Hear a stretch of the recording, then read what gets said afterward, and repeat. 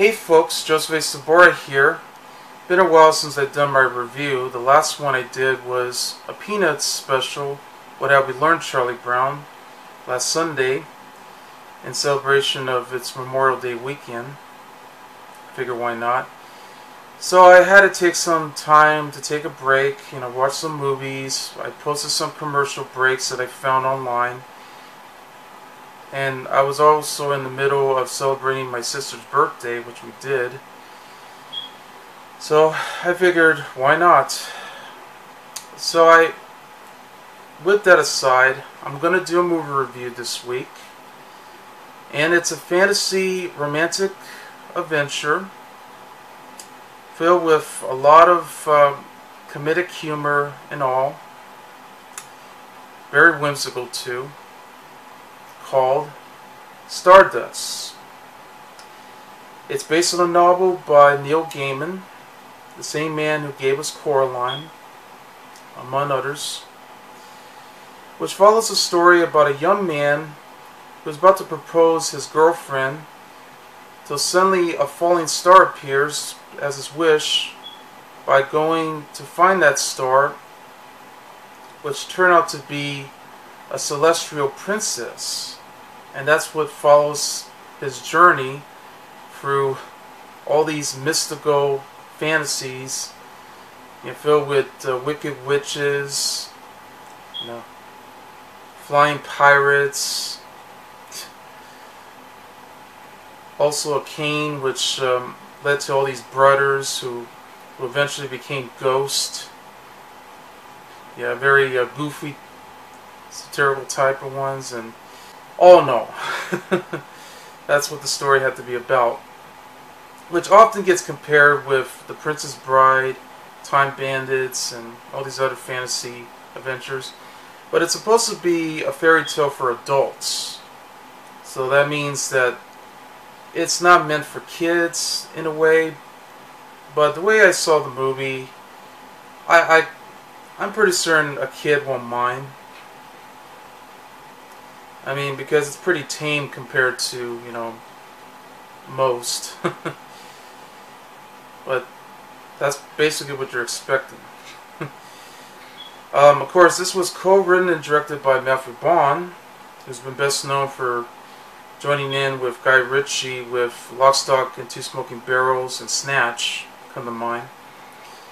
And he later went on to do uh, Kick-Ass, which is a take on superheroes. I saw this movie unexpected um, in 2007. I wasn't so sure about this movie because I love fairy tales. I, I love fantasies and and comedy and all these thrilling adventures that I can deal with. I'm just hoping this was going to be, you know, one of those movies. I mean, considering that this was made in the 2000s. But it kept me by surprise, and I enjoyed it. Um, love the cast they chose here. You know, they got Robert De Niro, you know, playing Captain Shakespeare.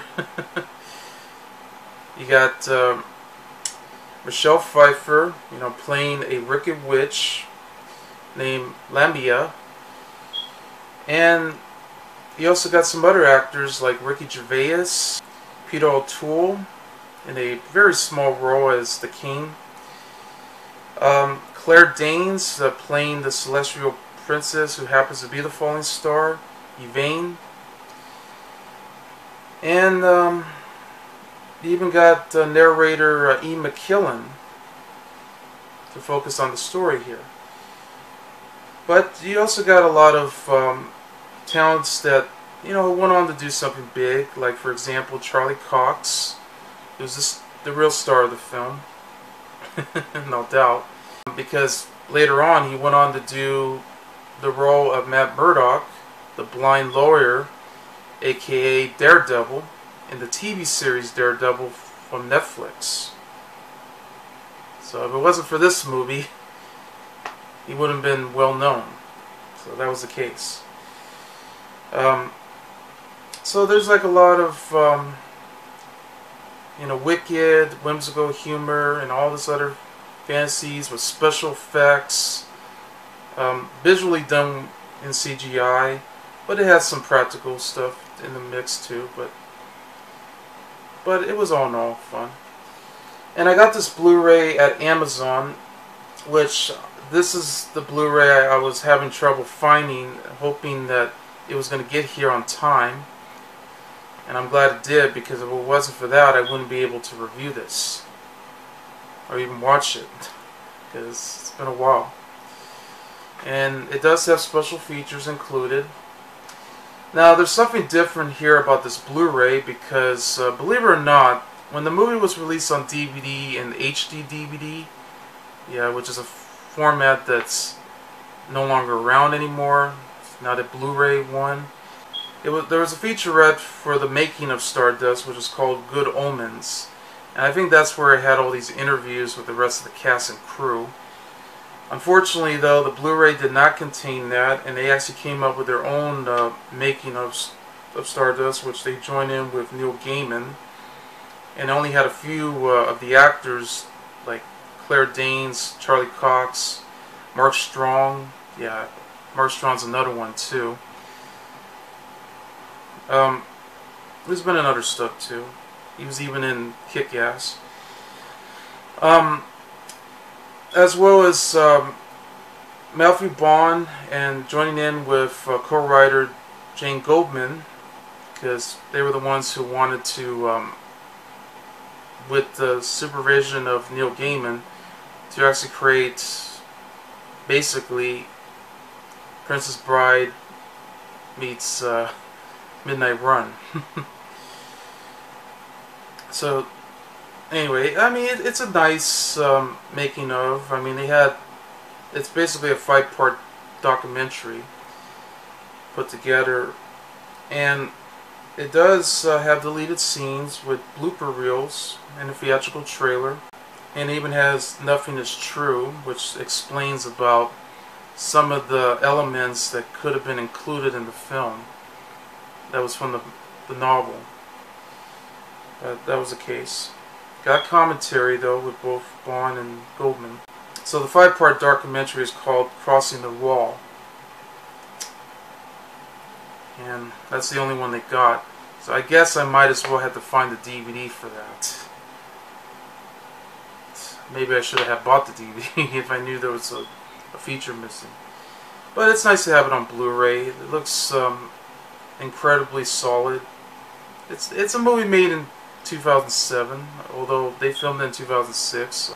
Done digitally with blending in with film, so it should definitely look incredibly pristine. But still, I love it. So let's begin with the review.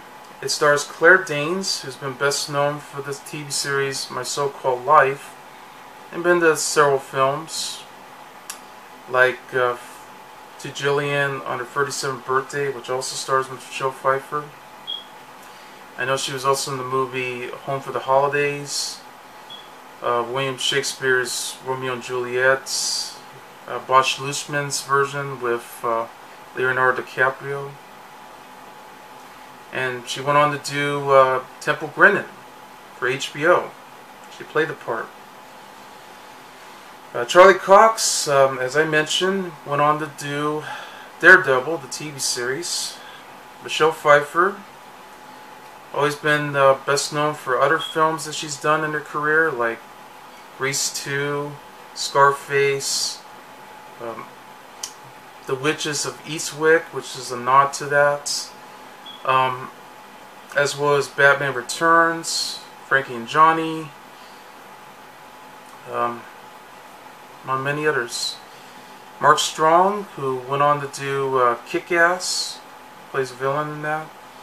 Robert De Niro, you know, legendary actor. Taxi Driver, Mean Streets, Raging Bull, Goodfellas, many others as he's done. uh, Jason Flemyng, Rupert Everett, um, and I know he's been in other stuff too. He was actually in Dunston Checks In. in my best friend's wedding. Ricky Gervais uh, from the original The Office, which I know the American version was on with Steve Carell. and I know he was in the Night at the Museum movies, among others. And he's always been funny. I love him.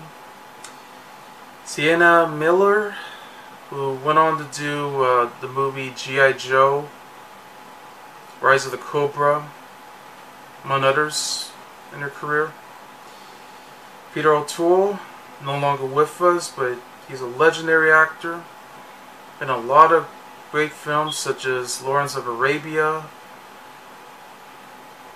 And I know he was in the movie uh, High Spirits, a very underrated uh, fantasy adventure. Um, Ian McKellen, of course, from X-Men, Apt Pupil, uh, among many others he's done in his career. Kate Magowan, Joanna Scanlan, Sarah Alexander, um,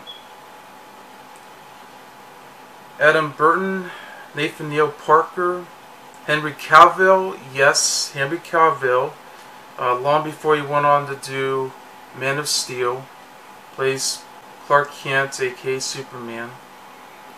Um, he was also in the movie Immortals, and of course, plays the villain in Mission Impossible Fallout recently. Uh, David Kelly, who's I know uh, best known for other films he's been in in his career.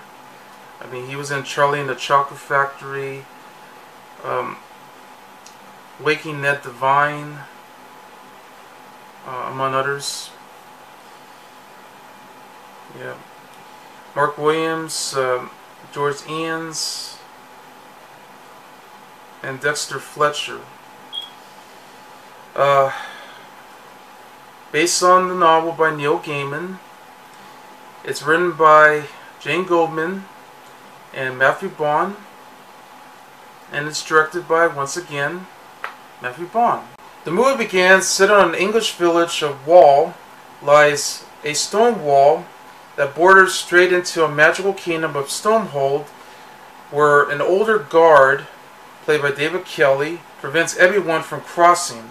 But Dunstan Thorn, who was played by Ben Barnes and his younger self, It would soon become his older self, played by Nathaniel Parker, had crossed over the wall and into the wall market and if you saw the theatrical trailer, although I think it was Tristan that actually jumped over the wall, which I know they had to do some changes too, because that was a deleted scene, where you see like a, a clear portal that goes straight into it. And I, I even wonder why they could have used it. Anyway, uh, Dunstan meets a, an enslaved princess named Una, played by Kate Magowan, who offers him a glass snowdrop in exchange for a kiss. After he actually helped her, you know, because she was all chained up. But nine months later, the wall guard had delivered a baby to Dunstan, actually named him Tristan, who would soon become 18 years old, very young and handsome, played by Charlie Cox. So 18 years later, that's where we meet the dying king of Stormhold, played by Peter O'Toole, who throws a ruby up into the sky, decreeing that his successor will be the first of his sons to retrieve it. So that way they'll be taken over as the new king of Stormhold. But the gem hits a star, they fall together, and the remaining sons, Primus, Septimus, and Tertius, independently search for the now cleared gem and they're all played by Jason Flemyng, Mark Strong, and Mark Heap. Yeah, I forgot to mention him. So that's what led to in Wall when Tristan sees a, a fallen star and bows to retriever for the objection of his girlfriend, Victoria, played by Sienna Miller, as a proposal to marriage, which led to the jealousy of her boyfriend, um, Humphrey, who's played by Henry Cavill. Yeah, because that's what led to a fight. So Tristan learns that his mother is beyond the wall, Una, and receives a Babylon candle that she left for him so that way he'll be able to transport him to the location he's going to be at. Um, the fallen star, of course, had eventually became a celestial princess named Yvaine, who was played by Claire Danes. Um, and she actually landed right straight into, like, between um, the wall market and the castle of Stormhold. Yeah, it's a very huge castle, as you may find out. Which I know uh, this is what led to all the sons um, of the king, which all the sons have became ghosts in their goofy uh, side of ways. I mean, yes, you see one that's frozen, the other one that's axe, one was burned, and the other one that's already had his face plant. I mean, after being pushed in through the castle by one of the sons, and he fell all the way into his death. Yeah, pretty messed up, isn't it? Um, so, anyway, when Tristan uses the candle, it goes directly to the pit where Yvaine had landed, and apparently she wasn't getting along with him very well at, at first. Of course, we know that Yvaine is a very beautiful woman, and rightfully so. So, after he found out that she was the star, he changes her to bring her to Victoria to show some, some proof here. But then we meet free agent witch sisters of Stormhold that resolves by eating the fallen star's heart to recover their youth and replenish their powers. And that's where we have the leader of the witches, Lambia, who's played by Michelle Pfeiffer, who eats the remains of the earlier star heart, using all these um, animals that they had all caged up. And then that's what led to cruelty to animals here. Messed up, I know. But she sets off to, find Yvaine, you know, using all of her powers, which if she uses up way too much, she'll become her older self again. And using all of her youth. Yeah, and that's how it, it goes on for the story. But she did conquer a wayside inn that she just um, created. Using her magical spell, she turned the goat carrier into a goat, but then having to restore the entire inn, she actually turned this goat into a woman and the other goat into a human man, but acts exactly like a goat. pretty clever. Yvaine had become very tired, so Tristan chains her to a tree and promised her to bring some food. But in his absence, um, she spotted a unicorn that releases her, but unwittingly takes her to Lambia's inn. Tristan discovers that Yvaine has been gone, but he fell asleep, and somehow the stars whispered to him that she is in danger. That's what led to this nightmare where the three sisters were about to set off to take her and kill her to take the power and be able to become, you know, their younger selves. So they tell them to get on the passing coach, which happens to be Primus. And but uh, as they finally went to the inn, they eventually interrupted Lambia's attempt to kill Yvaine and as you saw Yvaine, of course, you could tell the shimmers and the shines that's coming from her hair. Um, I guess when she's like smiling, you know, happy, that's where she starts the, the gloom.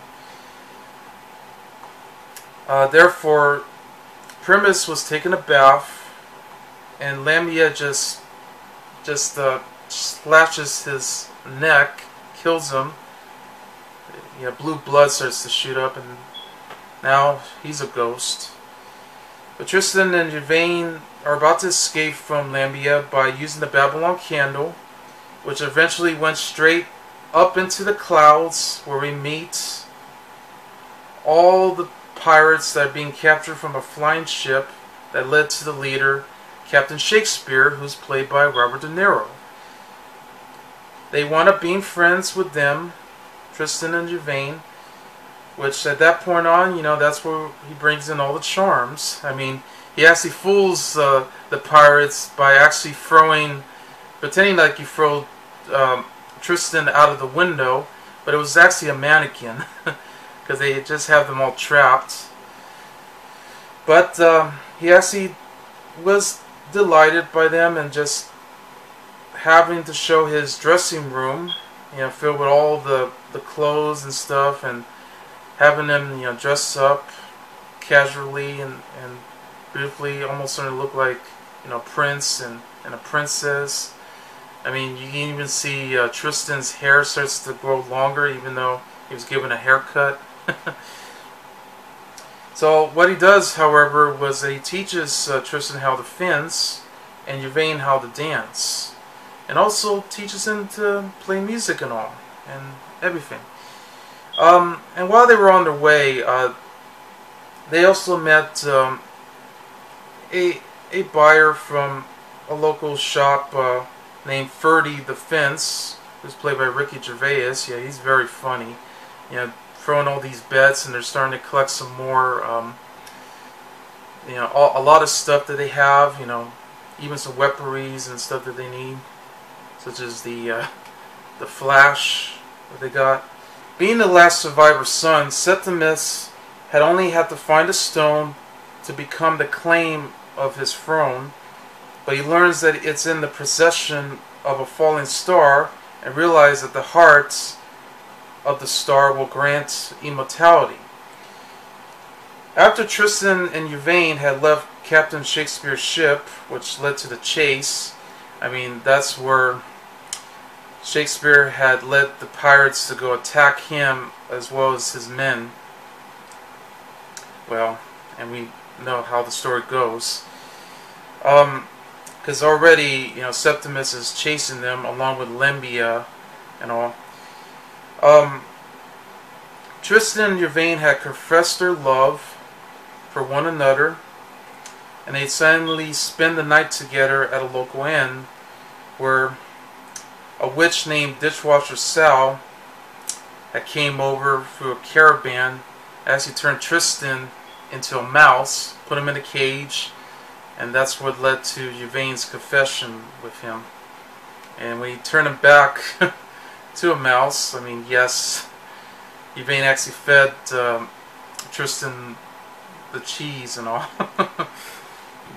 that that's what led to the lesson that had to be learned when Tristan took uh, the lock of her hair as um, Yvaine just glooms and shimmers and shines he, he went back to Victoria, give her the, the lock of her hair, which eventually turns into stardust, and tells um, Victoria to actually stay with Humphrey, so that way, you know, he'll be able to go back to his love already with uh, Yvaine, only to learn that Yvaine is actually in trouble because they realize that she will die if she crosses the roll and rushes back to save her. Um, Una somehow shows up and notices Yvaine walking to her doom. So she came to save her by taking the caravan of uh, Ditchwater Sal to stop her. But then Lambia and Septimus came, actually kills Sal and captures Una and Yvaine, taking them to the witch's castle, joining in with her sisters. And that's what led to the battle when Tristan and Septimus had worked together to stop them. Well, that's what led to all this going around when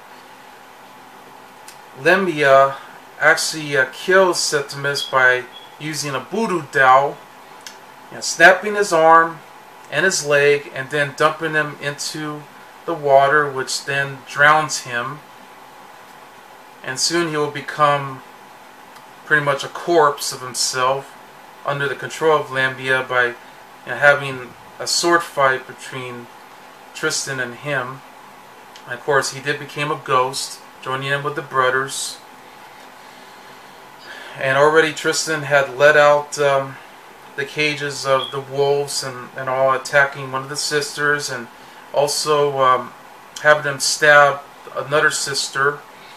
So they're all killed, only leaving Lembia behind, which at this rate was about to spare their lives. But in reality, she tricks them, just having the entire castle shut down. I mean, already shooting up all the glass with her powers. But the only thing to help was with Yvaine already being saved by Tristan because, you know, she was about to already getting stabbed by Lambia, going to get killed so that way she can be able to get the power. Um, she uses the power to sacrifice her using that particular glowing shine. Yeah. And vaporize him vaporize her completely. So now she's gone. And Tristan and Yvaine had embraced themselves. They fell in love, and now they became king and queen of Stormhold. And they're going to be staying, they're going to be king and queen forever until as 85 years has passed. And that's where they'll become, you know, stars. You know, that's for their choice. so, it's a very um, whimsical, wonderful fairy tale. Um, very fractured, and it really um, works all based directly through um, Gaiman's uh, novel, which actually was a four-issue comic miniseries put together that was actually published by DC Comics under Vertigo Comics. And I guess, yeah, joining in with the uh, art illustration, Charles Vess. So they put them all together. Uh, Gaiman wasn't intended to use as a film adaptation, but but when having to be rescued by Vaughn and and Jane Goldman, I mean, which she had red hair, if you saw the interview. Um, they're trying to do what they can not to um, try to stay true to the source material as they can and try to add some more you know fun into it but have to, having to come up with some changes which unfortunately they had to change uh, the first half of the draft which led to the ending. I didn't want to be as downbeat as, it seems. I can see why. Um, now, when I did saw uh, one of the interviews too uh, with Neil Gaiman and also the featurettes, he did explain that they could have had like a unicorn fight, which was, I believe, in the book. That he was hoping that that was going to be included in the movie, but that never did, so that was the case. But either way, I, I, I knew they, they tried this hard. Um, but as it's turned out to be, I mean, I I really um, enjoy it. It was unexpectedly. It's something I didn't expect it much, but I really love the the look, the feel, the the fantasy, the the take on pretty much like all fairy tales out there. So they really uh, blended in together. I love the cast. Robert De Niro definitely nails his performance. It's not a phony performance. He really nails it perfectly as Captain Shakespeare. Um, probably the funniest moment too was when he was inside his dressing room, dresses up like a woman, wearing the uh, the Corvette and even painting his mole. And he was like dancing around to that tune while Septimus, along with his man, well, Septimus was about to go after him, but the pirates uh, were attacking his crew in that particular sword fight. And, you know, meanwhile, you know, he was doing his performance. I mean, that that had to be the most funniest scene I've ever saw on film. He really nailed it. Uh, I, I would have imagined Jack Nicholson playing that role too, but Vaughn suggests him, even with the New York accent and all. I mean, of course, he couldn't use a a British accent. Um, but he really was a charmer, and he really nails it. I love it. Uh, Michelle Pfeiffer was just luminously scary as uh, the witch of the leader of the of the witches' sisters, uh, Lamia. Uh, definitely, it is a nod to um, the the witches of Eastwick, and it really shows. Except, even though she was more beautiful in that film, I mean, I could definitely see the similarity with the voodoo doll scene. Um, but she really um, was just sexy, um, seductive, but she had a lot of um, fear, um, ferocious in, in, in a way for her performance. It was amazing. Uh, Claire Danes was just beautiful as the fallen star, celestial princess Yvaine. I mean, I love the scenes where she actually glows, glims, and and just the shines with a lot of shimmer in there for her hair. And they didn't get along with uh, Tristan at first, but it just. but after a while, I mean, they had their confession and they suddenly fall in love. That's kind of like how it is in in usual fairy tales. I mean, or it could be any other comedy and all. Uh, of course, the real star is Charlie Cox, you know, playing Tristan. I mean, he was definitely handsome, uh, heroic. I mean, the moments when he's like fencing, he's like an actual prince, and it works. It's basically his journey to follow this particular fantasy adventure when all he wanted was the falling star to give to Victoria, which would lead to that. Victoria, of course, played by Sienna Miller. I mean, she's very beautiful. And also elegant as uh, Yvaine. But I, I know that's not going to last. Um, of course, um, Humphrey happened to be Victoria's boyfriend who was actually jealous of, of Tristan. He felt like, you know, he's going to take everything away from him. And played by Henry Cavill, though. And he was a blonde, too.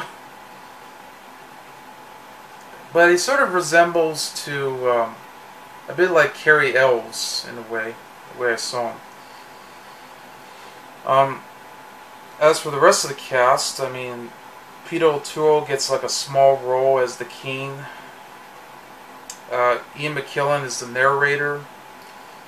Um, Kate Magowan is is beautiful as Una also the mother of Tristan. Uh, Nathaniel Parker as Dunstan, who's happened to be the father of Tristan. Um, yeah, of course you got Jason Flemyng, Rupert Everett, you know, playing the prince and all, and of course the brothers and all. uh, Ricky Gervais as Ferdy the Fence. I mean, yes, he was hilarious in this movie too, even though it's a, a relatively small role. I wish he was in the movie more, but that was always the case. Uh, there was a scene in, in the movie when Lamia came in and into his shop and then suddenly tells him to be quiet. That's where she uses the power and, and he talks like a bird or like a parrot or so before he got stabbed by Septimus, um, who was played by Mark Strong. And Mark Strong, I think he was supposed to be the villain in this movie, if that was the case. But I know Lamia is is the true villain of the film, but I guess that's kind of what led to this sometimes when sometimes you know, and it, it could be a cliche too. And like sometimes you think this guy's going to be the villain, but then next thing you know, he's going to work together with the hero. We've seen that a lot too. but because he's already going around killing people too. Just to find Yvaine. Um, anyway. Um, the script is just superb. I mean, coming from Jane Goldman and Matthew Vaughn, I mean, they really use a lot of satirical jokes and all of that, and all the stuff that they put with the source material that Gaiman had had a knowledge from. I mean, he's also the producer for the film, joining in with Lorenzo di Bonaventura, Transformers producer, and all. And I know Vaughn is the producer as well for his Marv Films uh, company. Um, and um, it had some dazzling special effects. I mean, everything you saw in the movie was spectacular. I mean, it's done practically at times. I mean, with with the cast and the stunts and all that. But they also had some beautiful, luminous um, special effects that they use. You know, like having to go directly through the our point of view, straight into the wall, and goes directly to where the princess had landed through the, the fallen star in the sky. And then we get to see the castle, as huge as it is, I mean, and how it goes directly and goes all the way closer to the top, where we get to introduce the characters, uh, such as the king. And and you wouldn't believe how tall this castle was. And then they even show how big the castle can be. I mean, filling in with all the guests and and the, the crowd around and everything they use. And then the magic, you know, the powers that uh, Lamia had to use, even though she turns old, like she's running out of power, or having to bring the, the inn back together, like it was already burned, so it looked like it was going backwards, or any of her other powers that she used to turn everyone into others, or how creepy she looks too, or any of these other uh, special effects with the the flying ship, the clouds. I mean, the the magical spirits and everything they put into it. It's just, it's like a storybook right there, come to life. It's very impressive. wonderful score done by uh, Ilan Eshkeri. It has like that fantasy uh, like score that just really fits the tone very well. Uh, cinematography was done by Ben Davis. I mean, it definitely gives it a closer look. Uh, all shot by um, the aspect ratio 2 by 35. It gives it that uh, wonderful cinematic feel and some nice editing by John Harris. I mean, I know it can be a little cluttered, but they really put all the pieces together as they could. I love the song by Take That. It's a, it's a boy group called uh, Rule the World, and this is the same group that sang the song back in the 90s uh, called Back for Good. But this was a great, beautiful song. It really works for this film. It's a nice touch. It definitely is a fractured adult fairy tale but they had to do some changes here and there. I mean, I, I think kids could definitely check this out. I mean, I don't, I mean, yeah, there's some, like, um, there's a, a little bit of nudity in the film, like maybe brief, but nothing too intimidating, so. But I just think they really did what they can. Um, but I figured that you know they were going to get some other actors to play the part. Like I know they were going to get Sarah Michelle Gellar to play Yvaine, but I'm glad she dropped out. I know they were going to get. Um, hard to believe they were going to get director um, Terry Gilliam to do this, which Matthew Vaughn was going to produce, but unfortunately he turned it down just so he can do something else.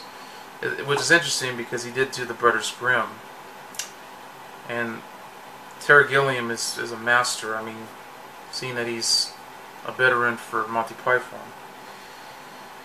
Uh, I, know Vaughn had, had did the Layer Cake, and I figured he was also was going to do the next X-Men movie, which that turned out to be First Class. Um, yeah, he was already doing Kick-Ass, which this would be his uh, follow following movie. That was a take on superheroes and all, but Mark Strong was also in there. Uh, anyway, um, the movie only made $337 million um, for the budget of 70 to 88.5 million as I searched around. Um, it wasn't a financial success as they were hoping it would be, but it was indeed uh, modest. So it did very well. Um, when it came out in the summer, in August. Yeah, I mean, because it was in the middle of other summer blockbusters. But still, I would say this would be a classic, a cult classic, and it would follow. I mean, I I would have loved to see a sequel, but I think the movie looks as looks a lot better as a standalone film. So, hey, Princess Bride didn't have a sequel, so why not this? You know, it's better that way. I mean, the movie was actually shot in um, Scotland as well as uh, Iceland, I, I, believe, and somewhere in United Kingdom. So they they had to shoot some most of the locations here to capture the spirit. I know half of the area they couldn't even allow animals in, like horses. But they try to do what they can, you know, with all the technology they had to make it look like they actually had them. Um, but it's it's definitely you know a whimsical fantasy, totally romantic, romantic, a lot of satirical humor. You know, definitely has the feel to all these other movies that we've seen. Great cast, all excellent together. Wonderful score. Got some nice narration from Ian McKellen. I, am even surprised that was him when I heard him narrating the entire story. But it's perfect. Um, it would have been nice if we had the unicorn uh, scene more often and maybe have a fight scene that Gaiman actually wanted. I, I would have loved to see that. And I probably would have loved to see some, maybe a few more here, but I understand. You know, they had to do some changes. Uh, Once Song, which I think it was going to be nominated for the Oscars, but it never did. Yeah, they snubbed it. But still, just superb. so that's Stardust you know, what do you wish for? when the falling star appears. And I give the movie five stars. I'm Joseph A. Sobora, and I'll see you later. Bye.